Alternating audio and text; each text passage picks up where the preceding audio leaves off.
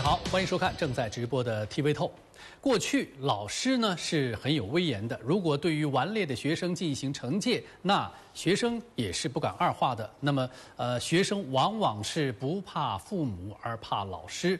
但是到现在，那么这样的一个状况可能有所改变。最近有些家长可能已经注到了注意到了两则跟老师行使惩戒相关的新闻。那么这个新闻出来了之后呢，啊。他们老师对于学生到底应该管教到什么样的程度？该不该，比如说施以惩戒？那都有不同的一个说法。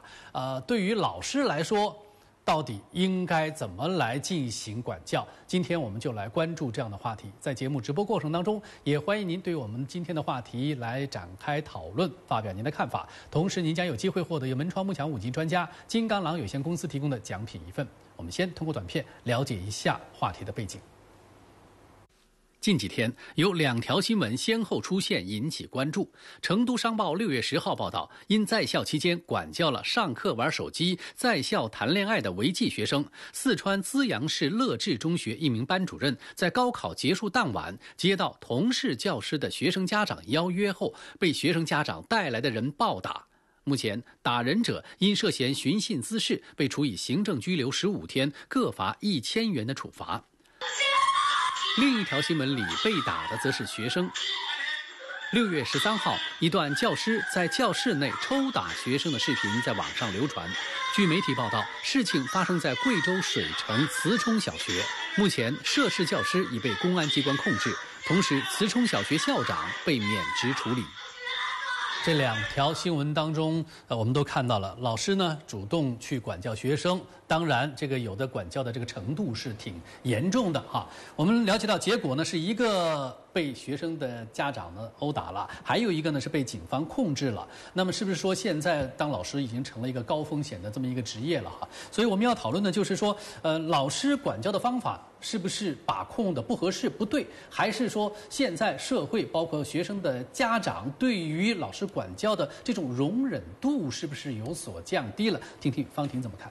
呃，我觉得从刚才的视频来看，这个老师的行为明显是非常不合适的。你看那个孩子那么撕心裂肺的哭喊，都不能停下他疯狂的动作。所以我觉得，呃，这不仅仅是一个管教的问题，他的行为已经是明显违法了。因为我们国家的未成年人法、义务教育法、这个教师法都明确规定了禁止对学生进行体罚或者变相体罚。因为体罚已经在全世界范围被证明是一件。无效而且非常有害的事情了。呃，嗯，不，嗯，好的孩子你不用体罚他，嗯，打不听的孩子你打他也是没有用的。而且根据数据表明，从小受过体罚的孩子，他成年以后啊，他产生心理障碍、抑郁症或者是那个酗酒吸毒的可能性都远远高于没有受到体罚的孩子。所以对这件事情，我作为家长，我是非常持反对态度的。当然。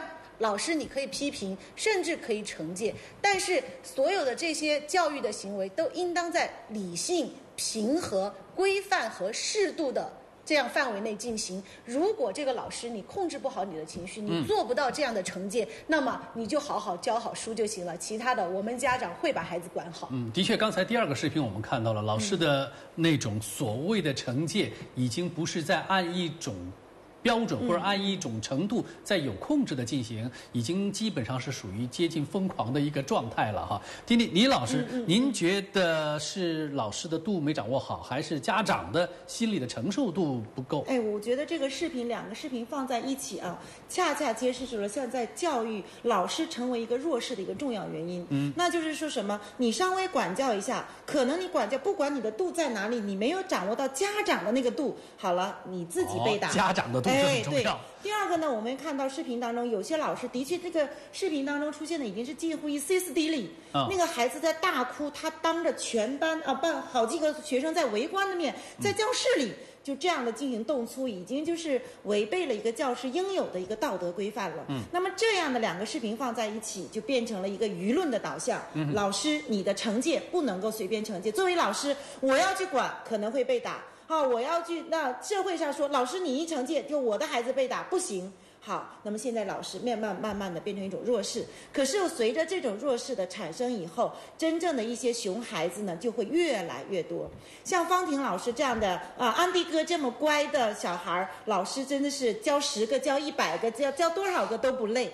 那你如果真的是要熊孩子多起来，老师如果不实行惩戒手段的话，那么这个社会他走向社会以后，必然会成为一个社会的毒瘤。那让说的好，说的不好听一点，老师不罚你，社会自。自然而然会去惩罚你。您认为其实还是应该应该可以老师有惩戒权利？对，只不过是惩戒的方式、场合因人而异，或者具体的措施应该。像刚才我们看到的那种，就是完全是不顾任何程度的，属于歇斯底里的这种拳打脚踢。肯定应该不是属于惩戒，也不是属于体罚了，已经违法了。黄校长是怎么来看这个问题？哪里出了问题？应该是刚才那个老师那种教育行为，确实是有被我们基本的师德要求，确实应该是违违反了法律的要求，应该受到法律的制裁，这个是很明确的。但是我们讲到这种教育惩戒，之所以到今天会出现这么一个比较模糊的东西，嗯我觉得就是刚才讲的一个一个这个承受度啊，一个是我们现在孩子。呃的承受能力也很差，为什么今天的孩子承受力很差？就折射回来，就是我们今天家庭教养方式是有一些问题的，比如说过分的溺爱，有的家长呢就是用棍棒去教育的孩子，到学校来老师用语言是很很难有效的。另外就是现在的孩子呢，由于过度的宠爱，还有少子化，又非常的自我。所以学校老师批评就出问题了，有的批评一下跳楼的有了，就学生本身的心理承受力是对对欠缺，对对对，这个适应度是很差的。第二个就是因为少子化，我们很多家长对于老师的批评，特别是现在特别强调尊重孩子的情背景下，往往呢孩子回家一种委屈，家长一听就来气了，就对老师进行指责。更多的时候，我们很多时候就好像要求老师不能任何的过失，特别是教育孩子的。方面上，很多批评的话是说重了，说轻了，其实是很难用一个客观的标准来评判。仅凭孩子的一言之词就判定老师说多说多了，说重了，然后就要去打老师，这种行为确实也是有很多的这个现现象发生过。好，归纳一句，那您觉得现在对于老师来说，是不是还是应该有一定的惩戒权？那当然不是歇斯底里的呃发泄自己的内心的某些其他的这个一些，比如说。呃，想不开的东西，或者说是郁闷，或者说是甚至某些仇恨。我们学校本来就是培养教育孩子的地方啊，如果老师都没有一定的教育惩戒权，这样的孩子到社会上去是失控了。嗯，嗯好的，这个我们前面的看到的那个视频哈，乐智中学被打的老师呢是一名班主任。我们知道，这个班主任在学校培养孩子的时候呢，他是德育的第一责任人。那么，我们的传统观念应该他是有这方面教育的一个很大的权威。但是，据了解，这个班主任他们所面临的往往是来自各个方面的压力是不少的。了解一下。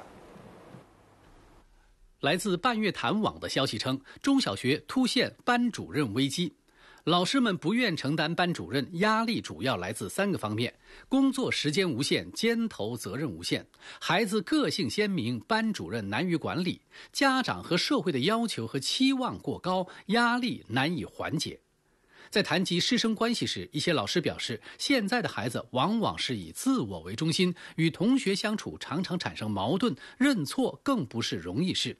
班主任不能批评，不能惩罚，当然更不能开除。现在的班主任和十多年前的班主任完全不同，孩子们的个性更加张扬，班主任的权威不如以前，需要主动将自己的角色调整为孩子们的大朋友。好，这个班主任现在看来的确还是很难当的。那所以呢，他们面临的压力比较多啊。所以呢，有些老师是不愿意承担班主任这样一个重担的。那如果管多了，可能家长受不了。但是你不管，也有的家长说：“你为什么不管我家的孩子？请你多关注我的孩子，是不是？”那作为班主任，作为老师来说，怎么来找这其中的一个平衡点？一个就是要进行一些惩戒，一个呢就是说。又要注意，不要过度引起了大家的不满。听听，方婷。呃，其实我有时候看外国的电影里面哈，好像熊孩子不好管的时候，校长就会把这个熊孩子的家长叫去谈话，然后有时候闹得很凶，还会出现穿着警服的人，好像校警一样的人出现在学校里。所以我觉得是不是我们的班主任压力大，是因为学校又要他管好，但是给他呃的权利又很少，就像您说的，他没有太多的惩戒权。他有时候他面临管不了的问题，对是不是？但是作为我这个家长来说呢，我觉得，因为班主任他是一个个体的人，他并不是一个就像我们公检法这样专业的一个执行惩戒的一个机关。也许他的惩戒会不会带有很大的随意性？他今天心情好，可能哎随便说两句就算了；心情不好，是不是一个耳刮子就过去了？还还要看个人的性格有。哎，对，而且所以我就觉得说，这个班主任的惩戒权，如果要给他，可能也要有一个相当专业的机构来。监督他或者规范他，保证他可以规范的实施，或者说把这个惩戒权放到学校去。嗯，班主任呢就做教育和教学，那需要管熊孩子的时候，就由校长出面来做当这些坏人，会不会他的压力明白了，小一点您的意思就是说，如果说班主任或者是老师如果有惩戒权的话，那么也应该是依照一种规章制度来办，或者这个事情不要让老师来办，由学校的专门的机构、专门的人来行使，是这样吗？我觉得这样会比较啊、这样的话就避免每个老师他这个出口或者下手不一样。校长，呃，应该说班有班规，校有校纪。确确实实，我们今天说班主任会遇到一些疑难杂症，需要学校层面来处理，也是在现实中是非常普遍的现象。那问题出现这个难点，就是我们所说的平衡度。那之所以平衡度找不到，就是因为我们整个在最对教师是不是既有惩戒权、惩戒的度上，也是没有平衡点的，也就是没有基本的准则跟基本的要求。咱们没有一项，比如说法规或者是呃行业的规定，或者说是学校的规定，把这些列得很清楚吗？没有列清楚，我们现在都提得非常的谨小慎微，连教育部的文件都是教师既有适当的批评学生的权利，哦这已经是种社会的悲哀了。我觉得说，之所以出现这样的一个问题，就是我们在整个的教育价值观上也没有找到平衡点。比如说，我们要这个公平对待孩子，要尊重孩子的权利。可是尊重孩子权利的前提，我们可能也要要求孩子遵守守则、遵守规矩。在这一方面上，我们没有找到平衡点。第二个，整个社会在面对教育这种呃矛盾的时候，特别是出现教师批评，或者是有的是变相体罚学生，出现冲突的时候，我们整个的社会往往是抱着维稳、息事宁人的态度，然后来处理，一边倒，谁是弱势，谁就受到保护。这种好失去了教育的尊严跟他本意的时候，也是会出现我们今校天的校长，您是不是？也就是说想呼唤，就是作为老师、作为校方管理来说，能够有法可依或者有章可循？当然是这样子。嗯，好，听听李老师，呃，那我是觉得您您的怎么看？对对，作为班主任来说呢，我倒是有一个想法，就是按照我的经验吧，嗯一个是跟学生商量，哎，制定一个班规，我要违反了这些行为，我受到相应的哪些惩罚措施？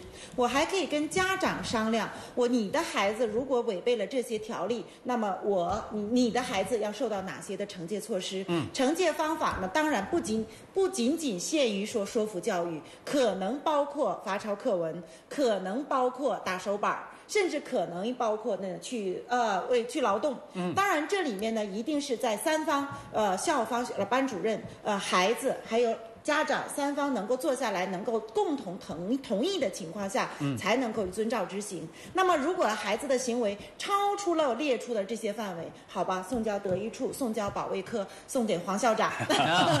所以我觉得班主任这里难当啊，就是感觉到有焦虑感呢。我是觉得说，各位班主任不要两肩什么都挑在自己的肩膀上，要学会向学生示弱，要学会向校长示弱，让校长去把这个担子勇敢的挑起来。您的意思就是说，当他这个班主任管不了的时候，不要硬管，不要说对我我绝对不不能够输在孩子的面前，我一定要不是用口头的力量，就是用动手的力量，不要这样，对不对要就这样，不要和孩子正面发生。好，如果说没有更高层次的各种规章制度，那么我们班上一起来讨论一个东西大家一起来遵守，是吧？嗯好的，我们来看在互动平台上观众朋友发表的看法。呃，有老太太她说，呃，就是老师还能惩戒熊孩子吗？他认为应该的，孩子啊是不打不成器，哎，这是一个传统的说法啊。山水圣人说，老师的任务是教育，熊孩子该由家长应该由家长和治安条例来管，用不着老师以熊对熊。那这是很多家长的看法，就是你不管怎么样，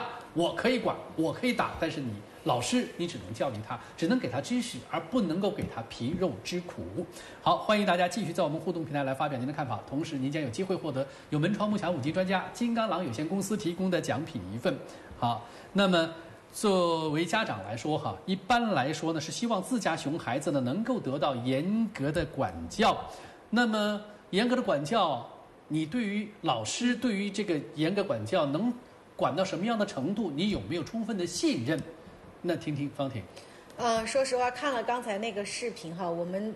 作为家长，想信任也信任不起来。嗯，因为呃，可能我我在我的小时候呢，可能大家都信奉棍棒底下呃会出人才。是。呃，但是到了我自己当家长的时候，我在养孩子的过程中，我是充分的尊重他，呃，把他当成一个平等的个体来对待。所以在这种情况下，如果说让这个老师对他有惩戒权，所以我是比较有这个疑虑的。嗯。呃，老师能否像我一样，也跟他耐心的说理，然后尊重？他的自尊不会对他进行人格上的羞辱。我觉得，呃，如现在有法律明文禁止的情况下，还经常发生这样的事情。如果说把这个惩戒权给了老师，可能将来我更没有办法很好的保护我的孩子了。所以，我觉得这个惩戒权一定要非常慎重，因为我们国家要对任何人采取这种。嗯嗯，强制措施都是要经过一个很很严苛的这个流程的。那所以说，就是当有些家长没有这种对于老师行使惩戒权的这种高度信任的时候，那所以老师可能很多也是选择多一事不如少一事。那我干脆很多东西我就干脆不要去主动管，可以告诉我们家长不要去严格管。那然后呢，调整成跟孩子做大朋友的这么一个角色，这到底算不算进步呢？我觉得在这里面哈，应该是首先一个就是老师对孩子是一个充分的了解。那么这个了解呢，就是建立在呢他呈现在学校的层面上的了解。嗯，因为有的孩子是两面性的，在家里面是在妈妈面前一个表情，在学校里的时候跟同学一个表情，在班主任面前一个表情，可能在科任老师面前又一个表情，他是很多面的。而这个很多面呢，也造成了他的行为呢，会有不同的人又做出不同的判断。所以我很赞成方婷的这个观点的一个一个点，就是说，一旦孩子发生问题的时候，不要轻易的给他下定义，更不要轻易的就对他进行惩戒，而真的就是把。家长叫过来，他是不是一个突发的？可能是今天跟家里面闹了不愉快，才把情绪到学校来发泄。那么如果是临时的，如果是习惯性的，那他的。行为产生的方面是不一样的，所以这时候呢，我们应该针对的就是我，我觉得应该就是因人而异。所以老师，即使老师有了惩戒权，也应该是建立在对孩子充分了解的情况下去行使，而不是说我拿着尺子就啪就打下去，嗯这是绝对不行。这其实也对老师提出了一个更高的要求，就是你对你班上的四十几个、五十个学生，你都要有他在你面前的和在你背后的在家里的表现的这样一个比较全面的了解，是吧？法官 充分的法庭。好，现场休息一下，马上回来继续关注老师对于熊孩子还能够惩戒吗？老师惩戒学生从天经地义到动辄得咎，成了高风险的事吗？对惩戒望而却步，是否陷入了另一个怪圈？惩戒教育应当标准化还是因人而异？TV 透欢迎亮剑，老师还能惩戒熊孩子吗？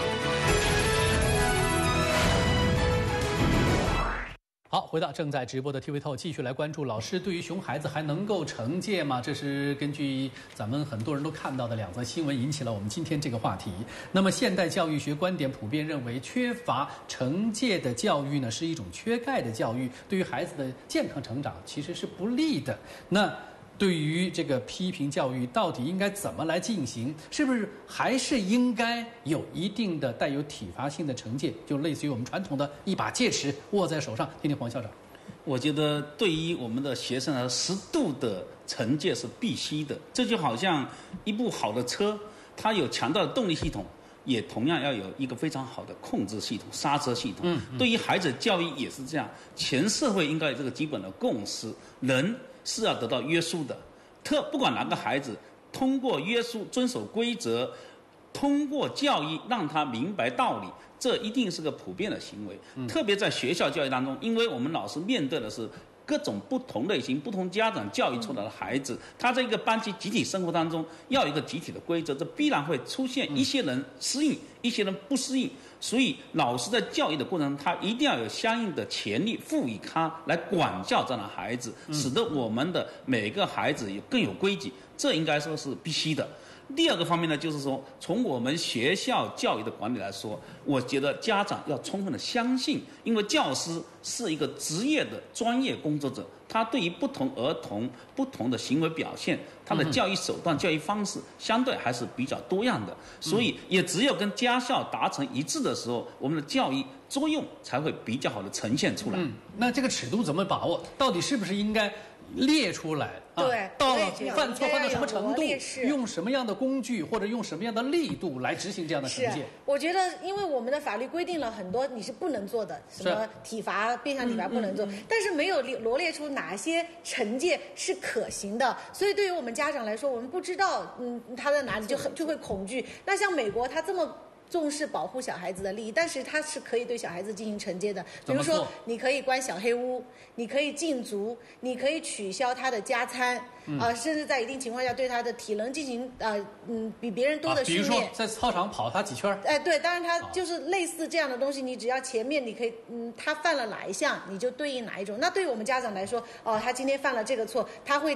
得到什么样东西？我评估我的孩子，嗯，这个东西对他有用，也不会伤害他，也能对他起到教育作用，那我们就很开心。而且你这个过程哈，最好你有一个什么记录，对不对？对，嗯，呃呃，有一个专门的机构来负责记录他被惩戒的这个过程，那我们呃相对来说接受度就会高一点。是不是还要之前先做个体检？不然的话，万一某些方面过敏或者某些方面承受不了，你比如说罚他跑三圈，结果呢晕倒在场上怎么办？比如说你要罚他关小黑屋，你得让我知道他是关在哪个小黑屋吧？去看一下。哎，如果学校说我们有这个关禁闭的这个地方，我看看这间禁闭室是不是软包装啊？它在里面安不安全呢？我觉得这样子可能 这个还真的是要列出专门的一个细则才行。对对对，我觉得这里面有一个技巧，就是表扬孩子的时候，一定在大庭广众之下，在微信、在家长群里面、QQ 群里面，哇，某某孩子作业今天得到表扬，哇，家长肯定继续配合。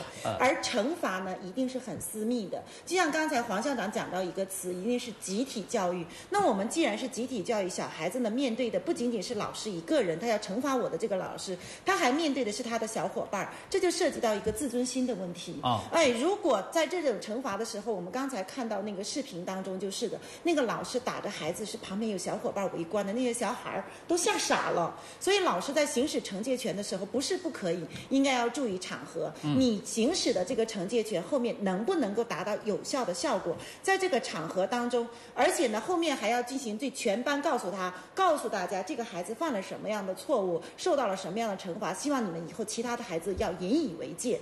第二个呢，就是不管是这个惩罚措施，不管是由班主任发出的，还是由专门的校警发出的，还是由黄校长发出的，他一定要让让孩子知道，心里有个底。